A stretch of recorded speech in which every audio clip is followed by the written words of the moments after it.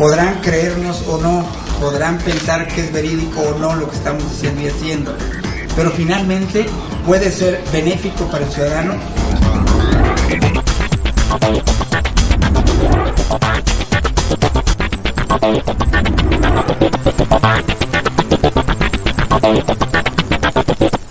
Delegados federales de nueve secretarías, entre estas Cedesol, Reforma Agraria, Profeco, Zagarpa y Semarnap, suplicaron a los medios de comunicación la difusión de una jornada ciudadana del gobierno federal que se llevará a cabo el próximo sábado y en la que descartaron trasfondo electoral. El Validia Valle Olvera, delegada de la Secretaría de la Reforma Agraria, dijo que están dando cumplimiento a la orden presidencial de reforzar las acciones bajo los principios de transparencia y rendición de cuentas. Estar más eh, en contacto con la ciudadanía, que para eso nos debemos, y eso sí fue instrucción de, recordatorio enérgico del presidente, que no olvidemos que trabajamos para quién estamos sirviendo y tenemos que estar mejorando siempre las, las formas para poder estar eh, pues priorizando que siempre es a los más protegidos.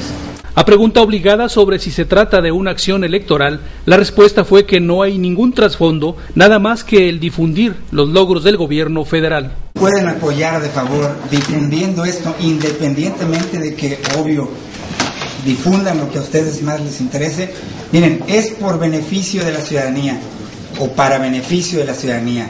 Podrán creernos o no, podrán pensar que es verídico o no lo que estamos diciendo y haciendo, pero finalmente puede ser benéfico para el ciudadano o puede no ser benéfico si a través de ustedes no nos ayudan y ellos no se enteran.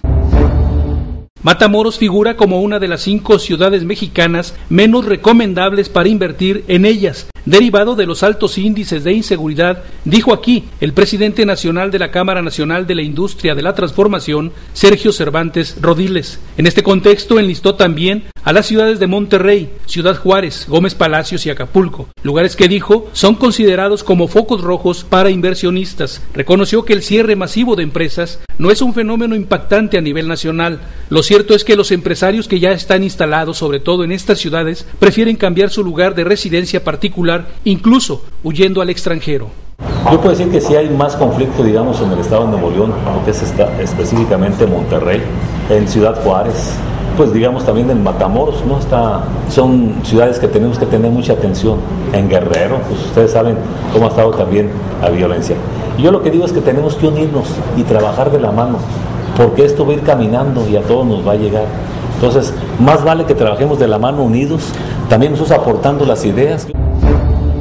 El Hospital Regional de Alta Especialidad podría ser incorporado al sistema de salud tamaulipeco en aras de mejorar su operatividad. El secretario de Salud Norberto Treviño García Manso explicó que durante la reciente visita del secretario de Salud Federal, José Ángel Córdoba, se hizo un convenio moral para lograr este objetivo. Y es que a pesar de que el gobierno federal anunció que concursaría 40 plazas laborales en el hospital, lo cierto es que aún es un número insuficiente. Equipo, Centro Noticias, Tamaulipas.